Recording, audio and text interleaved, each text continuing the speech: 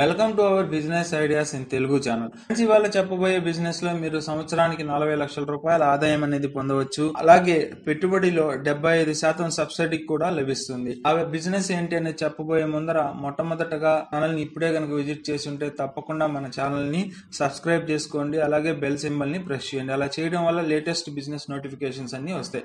ఆధునిక వ్యవసాయ పద్ధతుల ద్వారా యువ రైతులు సిరులు కురిపిస్తున్నారు. తక్కువ నీటితో అతి తక్కువ మంది కూలీలతో సేంద్రీయ విధానంలో లాభదాయకమైన చేపల సాగు ఆర్ఏఎస్ అంటే రీసైక్లింగ్ ఆక్వాకల్చర్ సిస్టమ్ చేపట్టి మంచి ఆదాయం సాధిస్తున్నారు.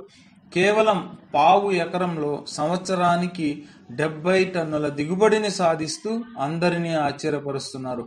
చుట్టుపక్కల నదులు కానీ వరద నీటి కాలువలు కానీ లేకుండానే కూడా ఈ డెబ్బై టన్నుల దిగుబడిని సాధిస్తున్నారు. కేవలం బోర్లతో ఆధునిక పద్ధతులను అవలంబిస్తూ చేపల పెంపకాన్ని విజయవంతంగా చేసి చూపుతున్నారు. రీసర్క్యులేటింగ్ ఆక్వాకల్చర్ సిస్టమ్ను వ్యవసాయ క్షేత్రంలో నిర్మించి చేపల పెంపకాన్ని చేపట్టడం ద్వారా మంచి ఆదాయాన్ని సాధిస్తున్నారు. అల్ట్రా హై డెన్సిటీ పద్ధతిలో చేపల పెంపకం ద్వారా చేపల వ్యర్థాలతో కూరగాయలను కూడా పెంచుకోవచ్చు. ఈ కల్టివేషన్ స్ట్రక్చర్ను నిర్మించేందుకు ఎక్కువగా ఖర్చు అవుతున్నప్పటికీ ఆదాయం కూడా బాగానే ఉంటుంది. ఆర్ఏఎస్ పద్ధతిలో చేపల పెంపకాన్ని విదేశాల్లో ముప్పై నుంచి నలభై సంవత్సరాల నుంచి చేస్తూ ఉన్నారు. మన భారతదేశానికి ఇది పూర్తిగా కొత్త టెక్నాలజీ. అయితే తక్కువ నీటితో అతి తక్కువ విస్తీర్ణంలో ఎక్కడైతే నీటి లభ్యత సరిగ్గా ఉండదో అలాంటి చోట కూడా సునాయాసంగా అంగుళం నీరు వచ్చే బోరు ఉంటే ఎకరంలో చేపలను పెంచుకోవచ్చు.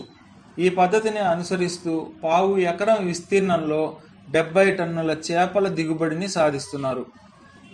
సాంప్రదాయ పద్ధతుల్లో చెరువుల్లో పెరిగే చేపలకు ఆర్ఐఎస్ పద్ధతిలో పెరిగే చేపలకు చాలా వ్యత్యాసం ఉంది.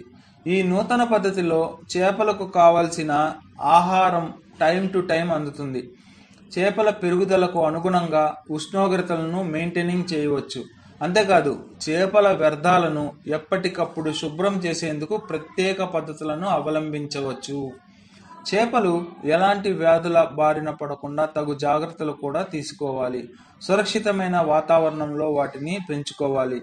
చెరువులో చేపల పెంపకం చేపడితే చేపల వ్యర్థాలు చెరువులోనే ఉండిపోతున్నాయి. అవి అలా డీకంపోజ్ అవ్వడం వల్లే వాటి నుంచి రకరకాల హానికర గ్యాస్లు విడుదలై అమోనియా శాతం పెరిగిపోయి చేపలకు నష్టం వాటిల్లుతుంది. దీనివల్ల రైతులు చేపల పంటను కోల్పోతున్నారు. ఈ ఆర్ఏఎస్ పద్ధతిలో మాత్రం ఎప్పటికప్పుడు నీటిని శుభ్రం చేస్తూ చేపల పెంపకాన్ని చేయవచ్చు. నీటిలో చేపల వ్యర్థాలను శుభ్రం చేయడం అంత తేలికైన విషయం కాదు. ఇందుకోసం ప్రత్యేకంగా డ్రమ్ ఫిల్టర్లు ఏర్పాటు చేసుకోవచ్చు. ఇందులో నీటిలో ఉన్న వ్యర్థాలతో పాటు చేప తినగా మిగిలిన పదార్థాలు డ్రమ్ ఫిల్టర్లోకి వెళ్ళిపోతాయి. నీటిలో చేపల వ్యర్థాలను శుభ్రం చేయడం అంత తేలికైన విషయం కాదు. ఇందుకోసం ప్రత్యేకంగా డ్రమ్ ఫిల్టర్ ఏర్పాటు చేసుకోవాలి. ఇందులో నీటిలో ఉన్న వ్యర్థాలతో పాటు చేప తినగా మిగిలిన పదార్థాలు డ్రమ్ ఫిల్టర్లోకి వెళ్ళిపోతాయి. అమ్మోనియాను బయోఫిల్టర్ ద్వారా పంపించి నీటిని శుభ్రపరచవచ్చు. చెరువుల్లో చలికాలంలో చేపల ఎదుగుదల ఆగిపోతుంది. వేసవిలో చేపలు చనిపోవడం జరుగుతుంటుంది. ఆ చనిపోవడానికి కారణం ఉష్ణోగ్రతల్లో మార్పులు రావడం వల్లనే. ఆర్ఏఎస్ విధానంలో ఉష్ణోగ్రతలను ఎప్పటికప్పుడు కంట్రోల్ చేయవచ్చు. ఆర్ఏఎస్ పద్ధతుల్లో ఎదుగుదలలో ఎలాంటి తేడా ఉండదు. సాంప్రదాయ పద్ధతిలో కంటే ఇరవై ఐదు నుంచి ముప్పై శాతం త్వరగా ఎదుగుతాయని రైతులు చెబుతున్నారు. సాంప్రదాయ విధానంలో కోటి లీటర్ల నీటిలో మూడు వేల చేపలను పెంచితే అవే మూడు వేల చేపలను యాభై వేల లీటర్ల నీటిలో ఈ విధానాన్ని ఉపయోగించి పెంచవచ్చు. చేపకు సమయానికి అనుగుణంగా ఆహారాన్ని అందించేందుకు ఆటో ఫీడర్స్ను డెవలప్ చేసుకుంటే చెప్పిన సమయానికి చెప్పినంత ఫీడ్ను ఆటో ఫీడర్స్ చేపలకు అందిస్తాయి. ఎదుగుదలలో మంచి ఫలితం ఉంటుంది. మార్కెట్లో కేజీ చేప ధర నూట ఇరవై రూపాయలు ఉంటే ఆర్ఐఎస్ పద్ధతిలో పెంచిన చేప ధర రెండు వందల యాభై రూపాయలు పలుకుతోంది.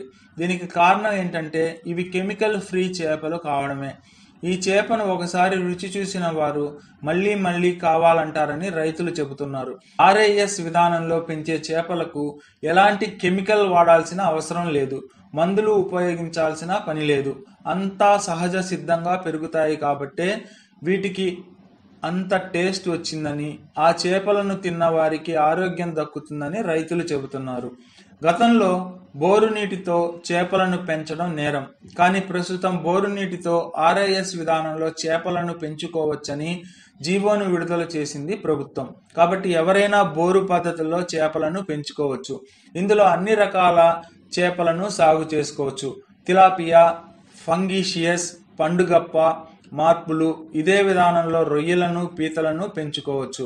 ఆర్ఐఎస్ టెక్నాలజీ చేపల పెంపకానికి చాలా వరకు ఉపయోగపడుతుందని తక్కువ స్థలంలో ఎక్కువ చేపలను సాగు చేసే పద్ధతి చాలా బాగుందంటున్నారు. వంద ఎకరాల్లో చేసే చేపల పెంపకాన్ని ఒక ఎకరం విస్తీర్ణంలో చేయవచ్చు.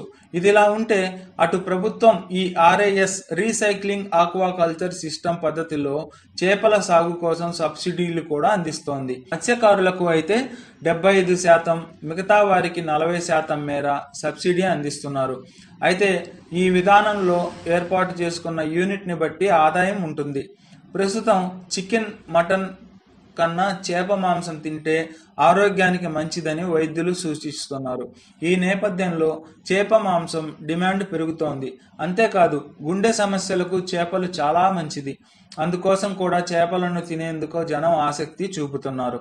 ఈ విధానం ద్వారా సాలిన నలభై లక్షల రూపాయల నుంచి ఎనభై లక్షల దాకా ఆదాయం లభిస్తుందని నిపుణులు సూచిస్తున్నారు. ఫ్రెండ్స్ ఈ బిజినెస్ మీకు నచ్చినట్టయితే లైక్ చేయండి కామెంట్ చేయండి షేర్ చేయండి. తప్పకుండా మన ఛానల్ని సబ్స్క్రైబ్ చేసుకోండి. Thank you friends thank you for watching this video